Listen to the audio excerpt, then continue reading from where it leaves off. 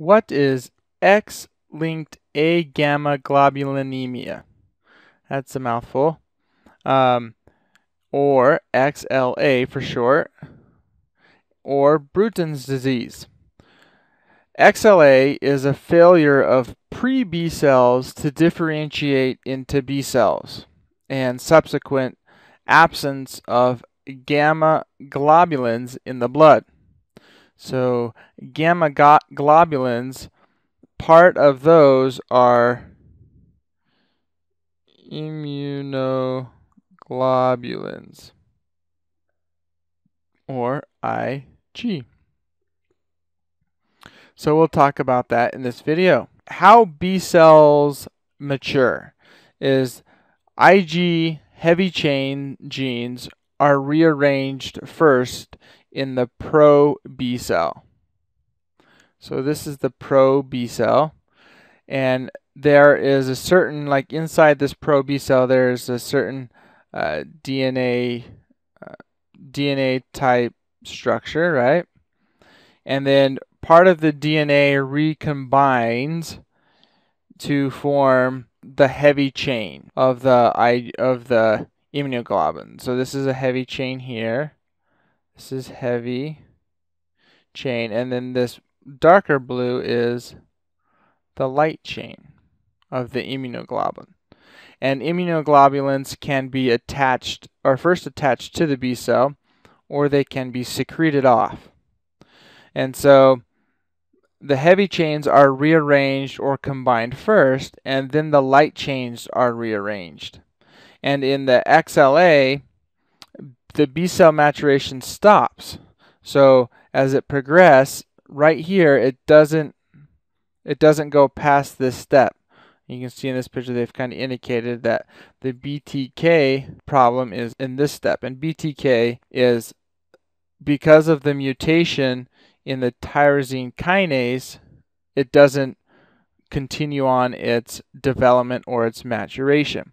And the kinase that is mutated is called the Bruton tyrosine kinase or the B cell tyrosine kinase or the BTK. So the BTK is gets knocked out by a mutation.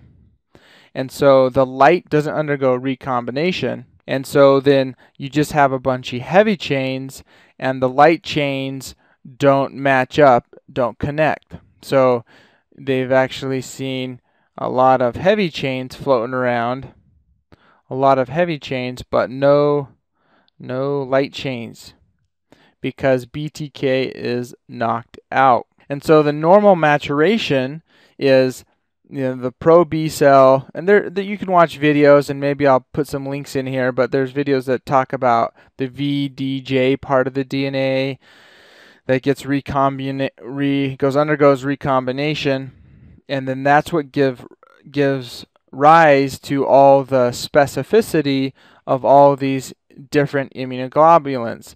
As we talked about here, like the secreted IG of any isotype types, remember gamed.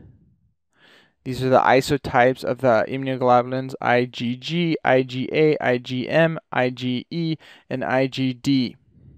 These plasma cells, once they become activated, then they start secreting all these IgGs. And if you have one antigen, only one type of IgG or immunoglobulin will attach to this, whereas this one it won't because of the certain epitopes or the the variable portion on these tips that correspond to every antigen.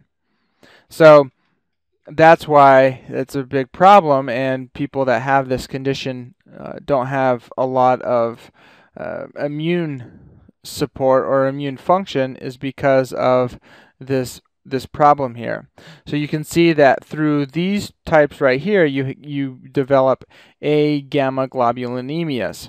And you can see all the different type here. But we're just talking about XLA in this video.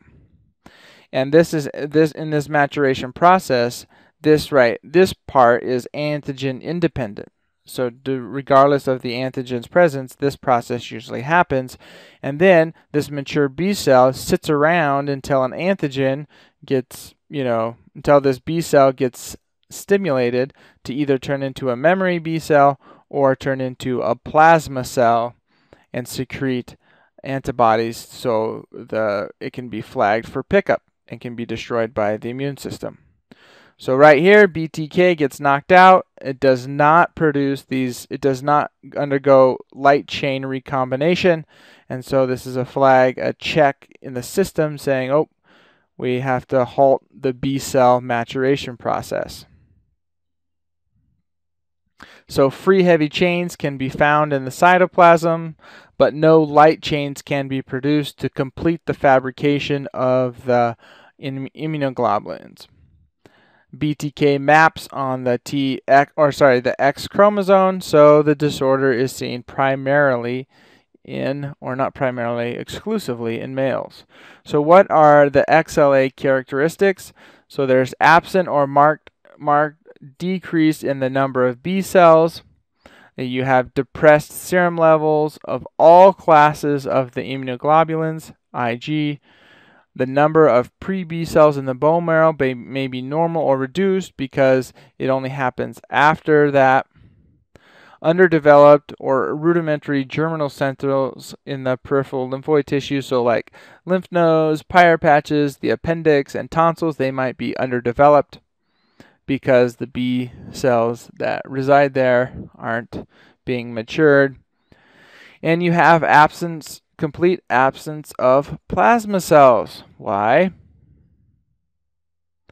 Because they never really reach this state. These B cells never reach this mature cell, so when the they can't become activated to turn into a plasma cell. And then but the normal T cell mediated responses are still intact. So XLA manifests approximately six months after age.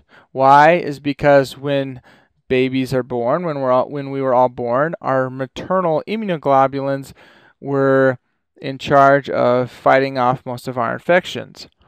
But that's why it manifests approximately six months after age because these maternal immunoglobulins then become depleted. So recurrent bacterial infections such as acute and chronic pharyngitis, sinusitis, ear infections, otitis media, uh, bronchitis, and pneumonia are common. And the causal organisms, which are bacterial pathogens, are usually cleared by antibody-mediated opsonization and phagocytosis. Remember that once a pathogen gets in, these antibodies these antibodies stick to it and get flagged. It's called opsonization, and then get flagged for pickup by the phagocytes to be engulfed. However, because you don't have these antibodies, that's definitely a problem. So you have Haemophilus influenza, Streptococcus pneumonia, and Staphylococcus aureus. Those are the bacterial pathogens that are not cleared but are in these patients but are usually cleared by the antibody mediated uh, process.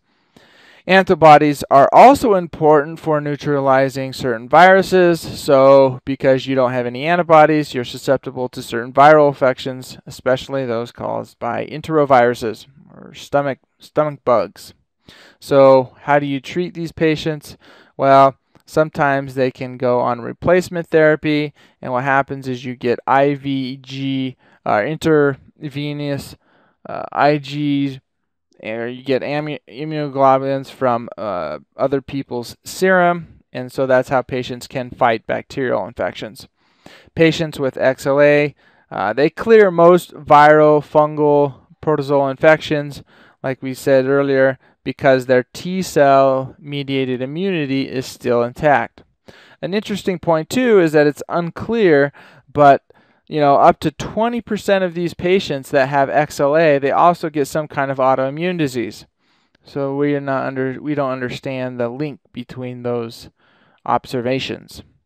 But that's XLA, and so we'll see in the next video.